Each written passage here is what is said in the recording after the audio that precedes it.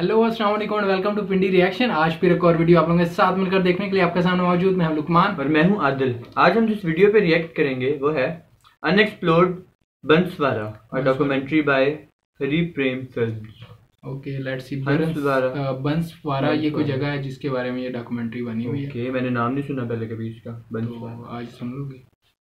Let's तो सी unexplored लिखा हुआ है यार। तो ज़्यादा फ़ेमस जगह नहीं होगी और बहुत अच्छी जगह होगी। ओके लेट्स इससे देख सकते ये लग रहा है। और इस चैनल के मजीद वीडियो देखना चाहें तो लिंक आपको डिस्क्रिप्शन में मिलेगा। Let's see how does it looks like one two three go Hari Prem films मैं बांसवाड़ा हूँ। रेगिस्तान के लिए विश्वविख्यात राजस्थान में हरियाली से लकदक एक छोटा सा जिला। करीब 500 साल पहले अस्तित्व में आए मुझे कभी तो लोढ़ी काशी कहा जाता है तो कभी माही के बैक वाटर में सैकड़ों टापुओं के कारण सिटी ऑफ़ हंड्रेड आइलैंड्स प्रकृति की मुझ पर असीम कृपा रही है जिससे चारों तरफ़ हरियाली का ही मंजर दिखाई देता है। वागड़ गंगा माही की अतः जल राशि के रूप में प्रकृति ने भी अपना खजाना मुक्त हस्त से लुटाया है। माही बाँध से झरती जल राशि को देखने का आनंद भी स्वर्गिक है। मानसून की मेहर बरसने के बाद तो कश्मीर सरीखा हो जाता हूँ। चारों तरफ़ हरियाली ही हरियाली। कदम कदम पर नदी, नाले और झरने, कहीं पहाड़ तो कहीं घाटियाँ। माही के बैक वाटर में स्थित टापू पूरे देश भर में दुर्लभ संपदा है। दूर दूर तक पसरा पानी और इसमें छोटे छोटे टापू। सर्वाधिक आकर्षण का केंद्र है कुलू मनाली की भांति हरी भरी वादियों वाला चाचा कोटा क्षेत्र। इस क्षेत्र में पानी में कई किलोमीटर तक जहाँ तहां दिखाई देते टापू, हर किसी का मन मोह लेते हैं। नीले पानी में हरे भरे अनगिनत टापू। इस क्षेत्र की अनूठी विशेषता है। इसी बैकवाटर पर बना महाराणा प्रताप सेतु दर्शनीय है। करीब डेढ़ किलोमीटर लंबाई वाला, मानो समंदर पर खींची गई सीधी सपाट लकीर सा दिखाई देता है। बहुत ही अद्भुत नज़ारा। एक ऐसा ही नज़ारा पेश करता है कागदी पिकअप वेयर। शहर की शान यह उद्यान प्रकृति प्रेमियों के लिए रमणीय स्थान है। जयपुर रोड पर स्थित डायलाब झील का सौंदर्य भी अप्रतिम है। सदन हरितिमा के बीच देव दर्शन और शांति की अनुभूति का ऐसा स्थान दुर्लभ है। ऐतिहासिक संपदा की बात करें तो करीब 500 साल पुराना श्री गढ़ राजमहल गौरव का प्रतीक है। वागड़ से पृथक हुई बांसवाड़ा रियासत के तत्कालीन महारावल जगमाल सिंह ने श्रीगढ़ नाम से इस किले का निर्माण वर्ष 1530 में किया था।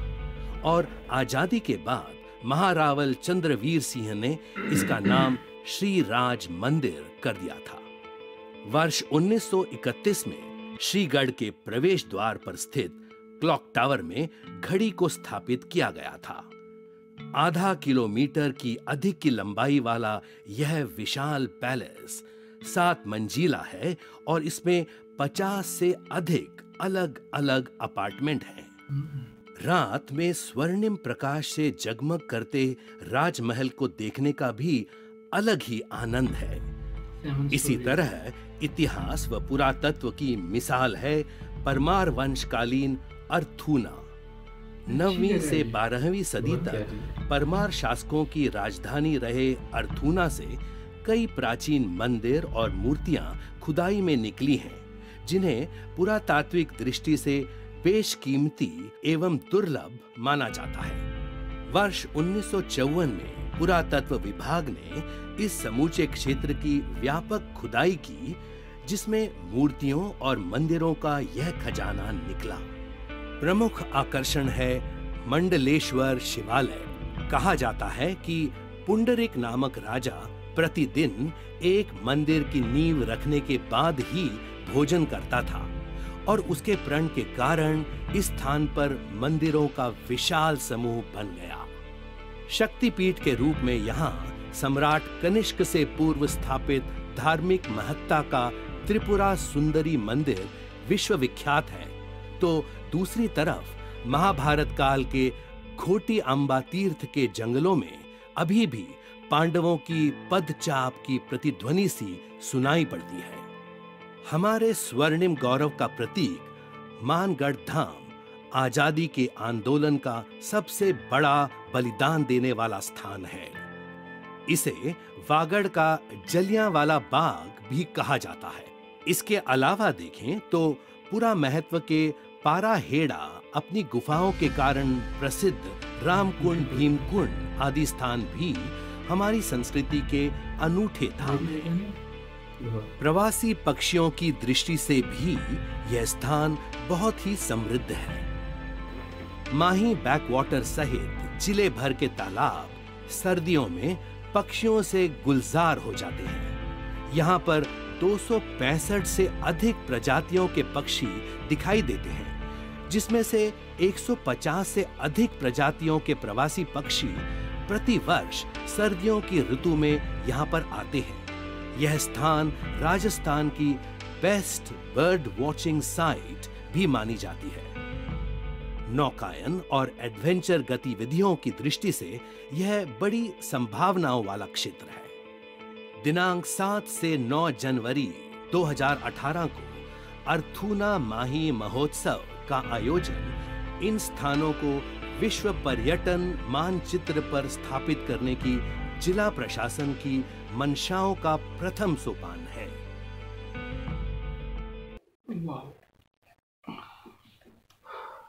ओके।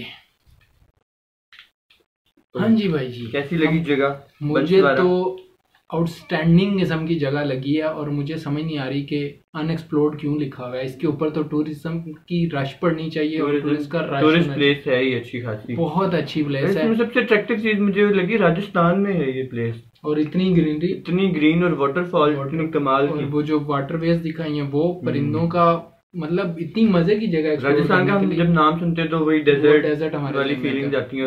वो इमेज क्रिएट अब इसमें देखो ना हिस्ट्री से जिन लोगों का ताल्लुक है जो हिस्टोरिक टूरिज़्म जो पसंद करते हैं उनके लिए भी वहाँ पे कल्चरल प्लेस है। बहुत ज़्यादा। एग्जैक्टली उसके अलावा जिनको नेचुरल ब्यूटी पसंद है उसके लिए इतनी प्यारी जगह है।